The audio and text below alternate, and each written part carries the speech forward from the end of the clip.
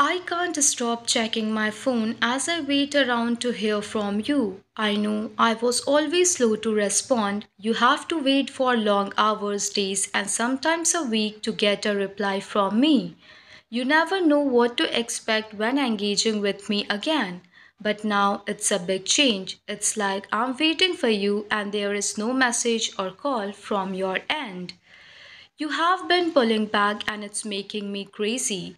Each time I connect with you telepathically, I see your social media. It seems like you are shifting further and further away from who you were, but in most incredible and surprising way. You have become more beautiful and powerful than before. I have never seen you like this, so confident and straightforward. After experiencing your energy and love, there is no turning back for me. I hope you can see that I'm always here. I wish you knew the impact you have had on me as a man. I want to show you because you deserve to see the gentle and greatest part of me. But please don't get hurt or distracted by the things you see on my social media that tells you a different story because you know things about me, about us, which no one else knows. So I trust that you understand I have things to wrap up. That's why I'm acting distant and different. You may not realize, but I was a bad boy in the past. I hurt others because how much they hurt me, like in a very revengeful energy.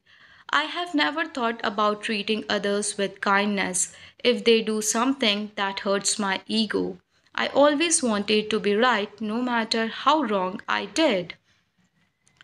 But you taught me lessons and it helped me to create lot of good things in my life and end lot of bad things. I learned by seeing you how to be gentle, kind and respectful towards others. I haven't always been the good guy. I have delivered more hurts to others because of my own inner wounds. But when I tried to treat you in the same way, like I treated everyone, you gave me a dose of my own medicine.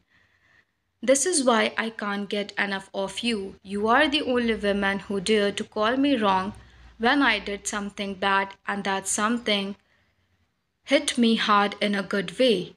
There is so much more than sensual chemistry. It's irreplaceable. It's sometimes uncomfortable but feels great that someone sees more deeply into me than most people I know. Subscribe for more upcoming channeling. Thank you, dear soul family.